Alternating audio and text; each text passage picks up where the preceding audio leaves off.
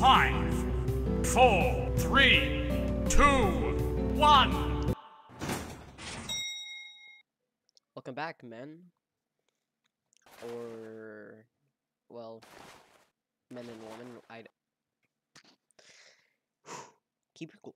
Um. So, I'm, I guess I'm just gonna um go over my opinions on all the flanker weapons, including reskins. Keep in mind that this is all in my opinion, so if I say a weapon is bad, that doesn't mean it's bad. I just don't find much of a use for it. All right, cool. Control point enabled. Alright. Get out and capture it. All right, well, let's get started. Ah, stock lever shotgun. I love th- I love this weapon honestly.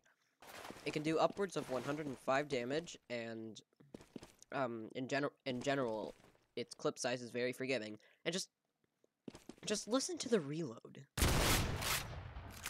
Like something in my monkey brain just clicks whenever I hear it, and it and it sends dopamine through my brain to hear a ding and then and then the reload. There's something beautiful in it.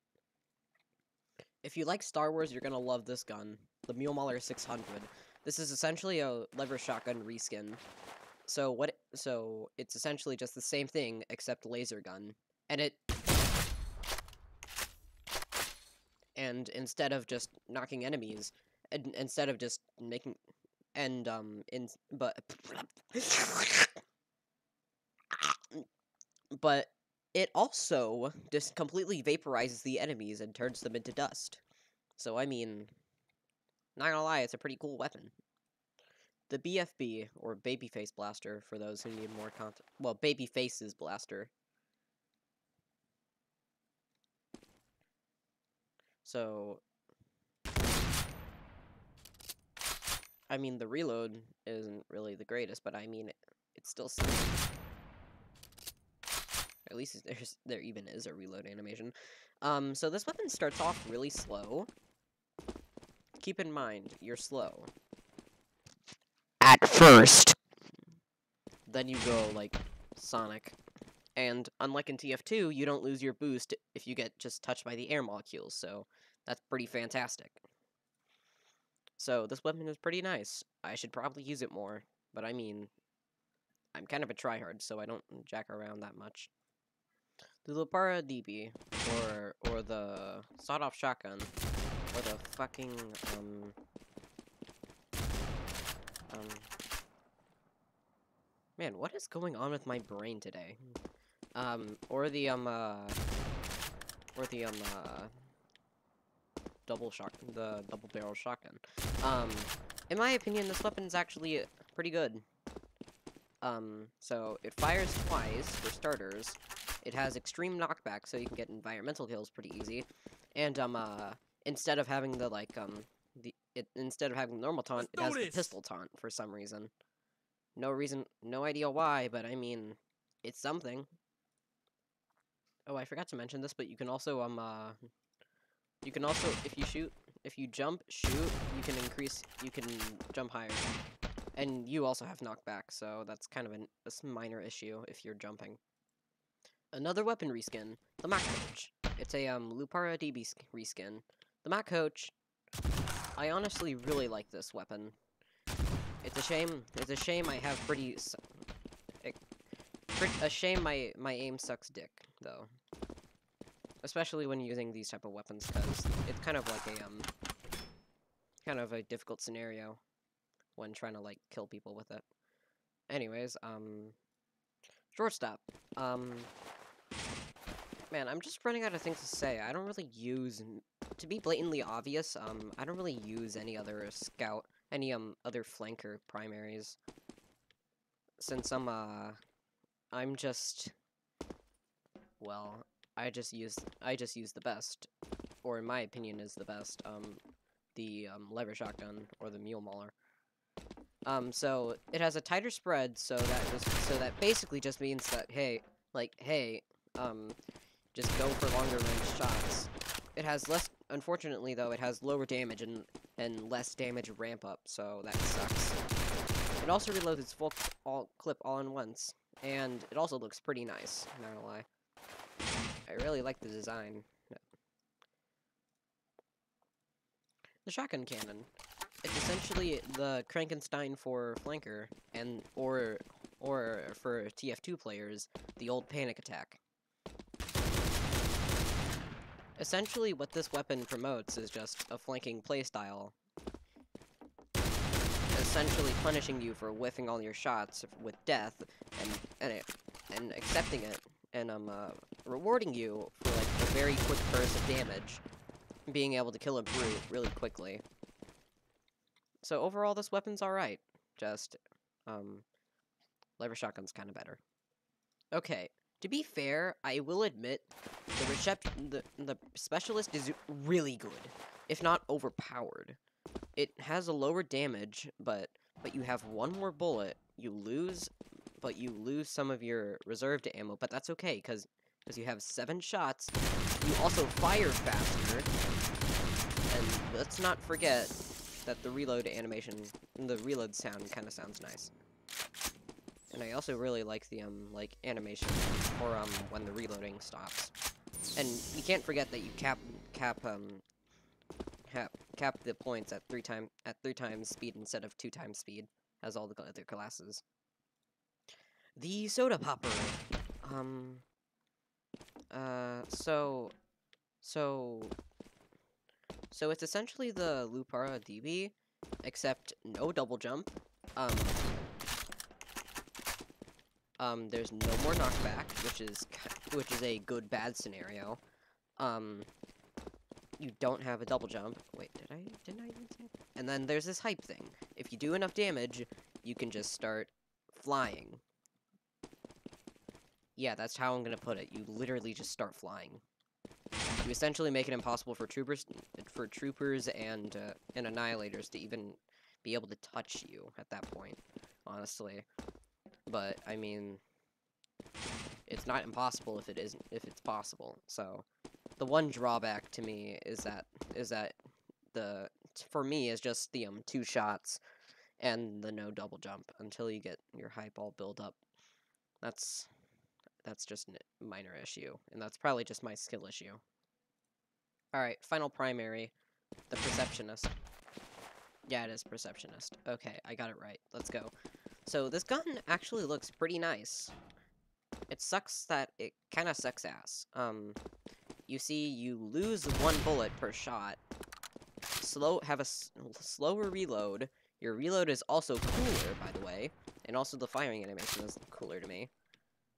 Well, well, I mean, it isn't the coolest, but I mean, it's still pretty nice.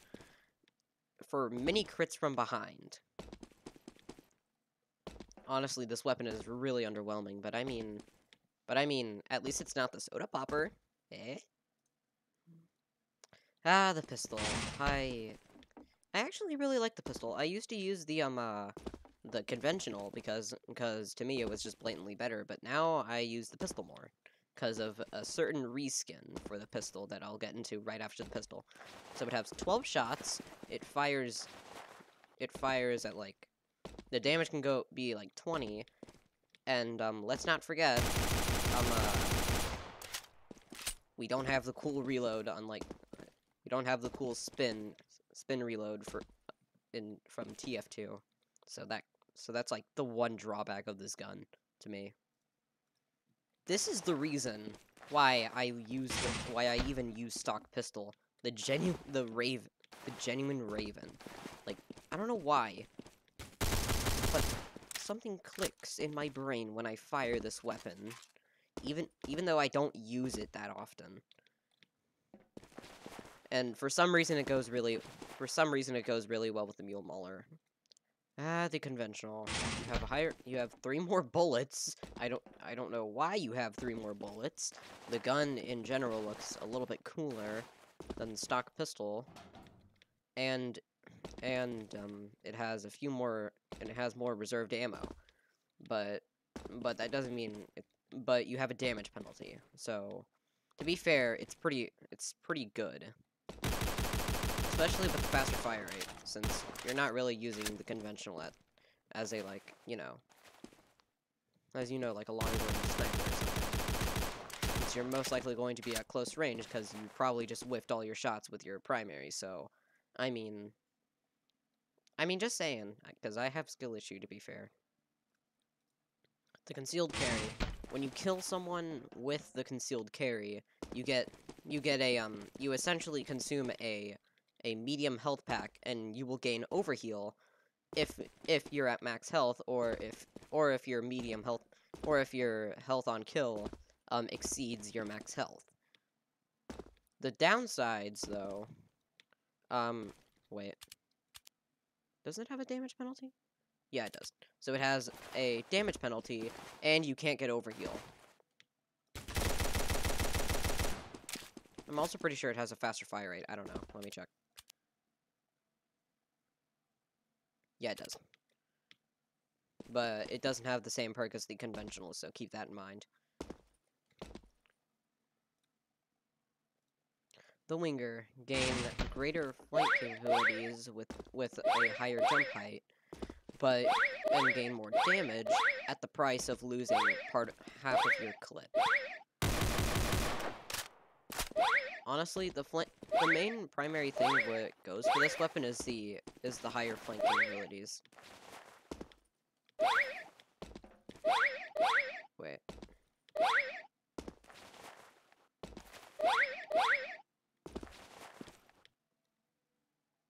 Wait, do you in general just have a higher jump height? I don't know if it you have to have the winger out, but but to be fair, um this weapon isn't the greatest. But I mean, it wasn't really made for combat, in my eyes, at least. The six the six point shuriken. Um, so you throw it at an enemy, it deals damage on hit, and then it and then it causes the enemies to bleed for two seconds. You can't pick up the shuriken. You can only you can only throw it once, but it ha but it recharges in a time span of like five seconds, maybe. I don't know.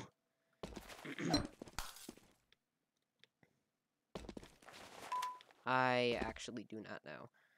But I don't really use this weapon at all. Unless I'm running Babyface's Blaster. For obvious reasons. The Mad Milk, or some people call the Cum Jar. Or the Semen Jar. Uh, I don't even know why I said that, honestly. So, so when you throw it in a radius, it essentially acts like the um, lemonade or Jarate.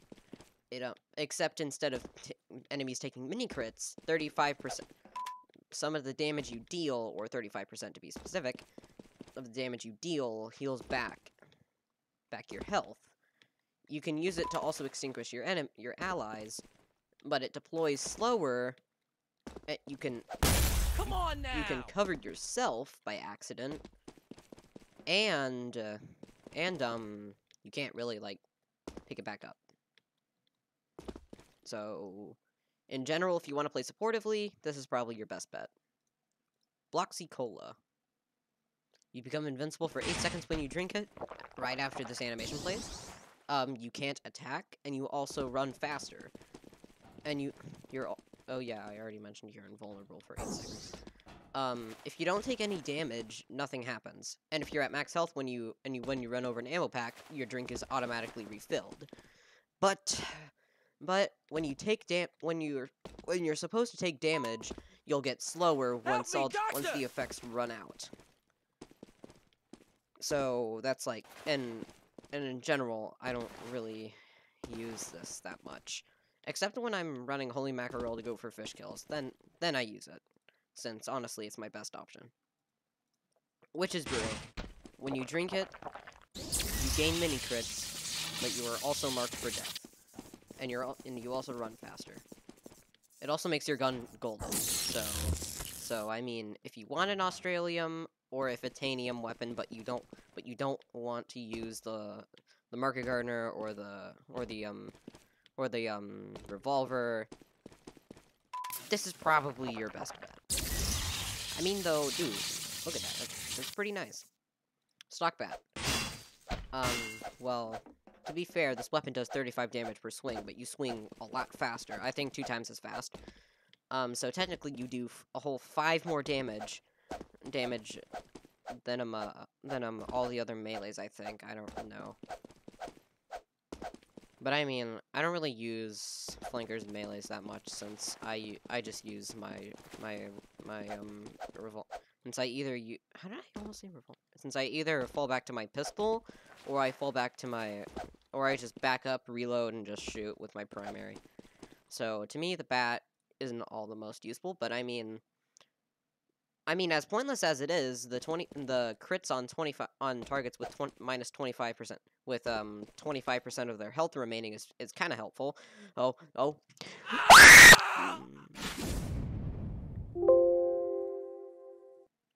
The killer fish from San Diego.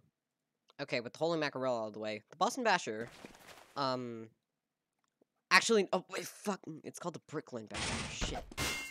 Um, so it swings slower, it has a higher damage. On hit, you cause bleeding on your target, and it has more damage. But if you miss...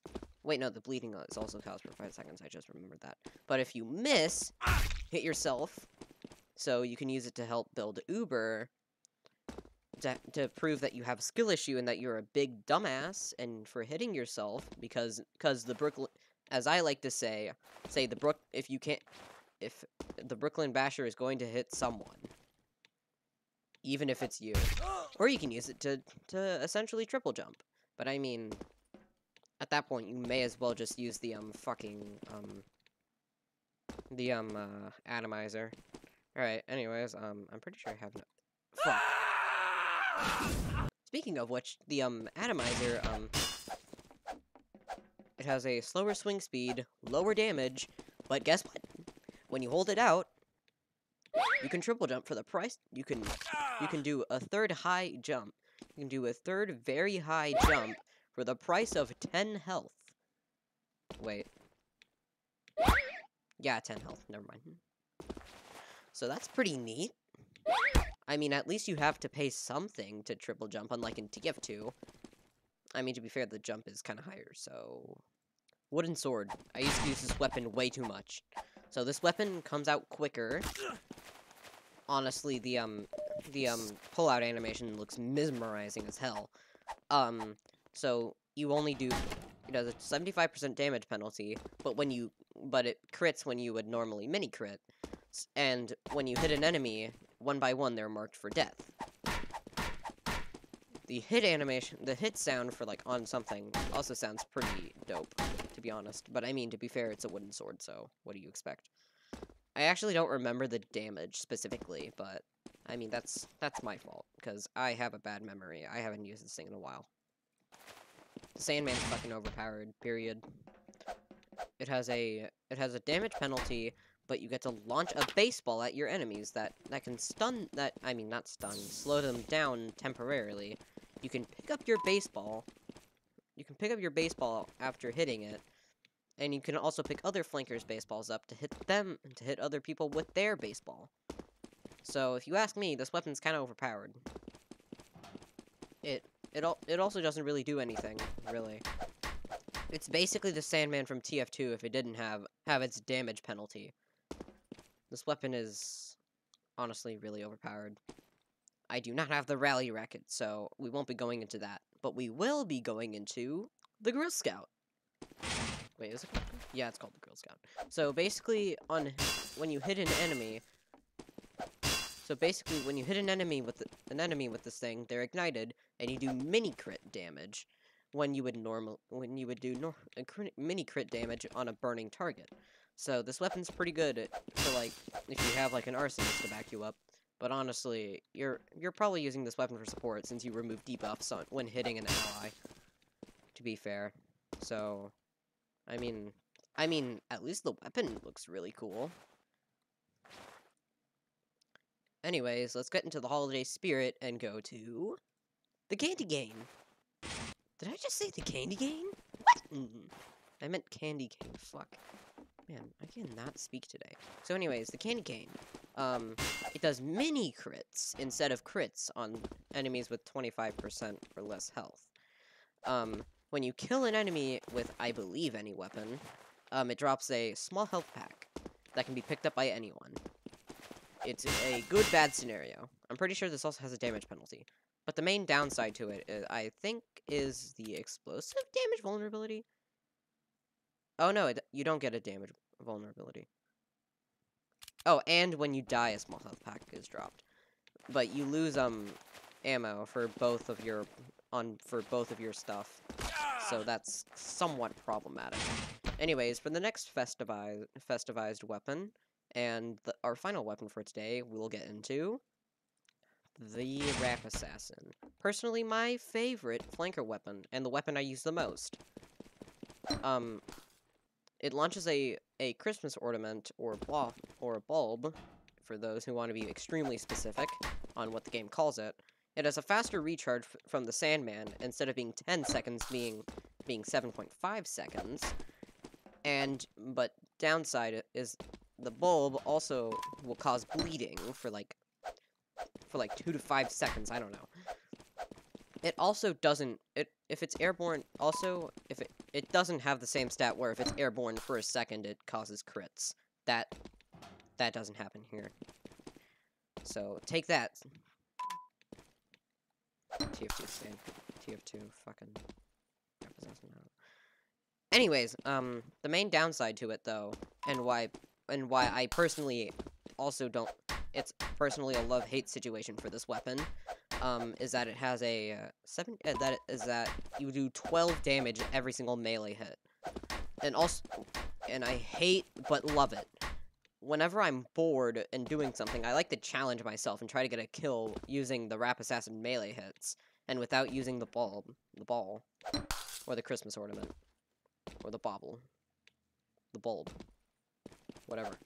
Another downside for it that isn't descript described is that um, you can't pick up the Christmas ornament once it once you hit it. You either have to go go all the way back to spawn and go go to the resupply cabinet, grab it, and then just const and then just hit more balls, hit more balls with your with your um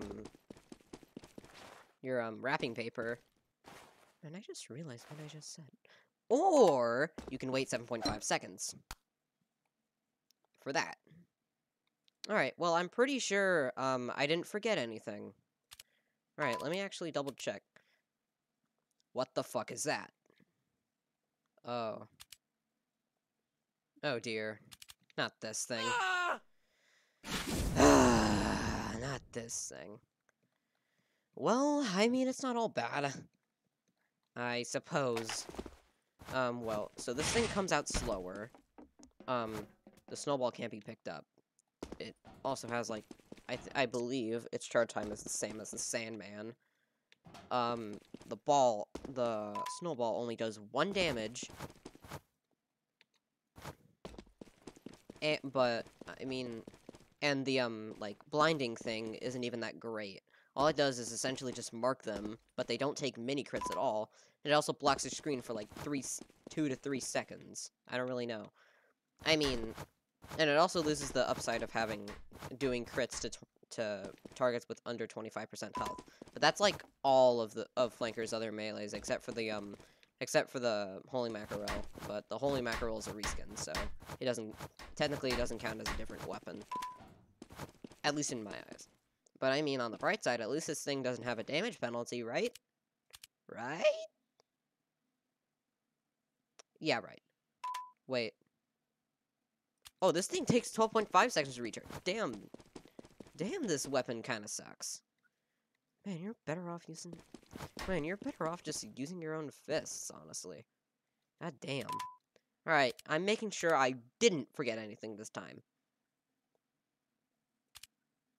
Okay, I did forget get something else. But I mean, it's just another reskin, so... To be fair, um, it's not that big of a deal, so... Um...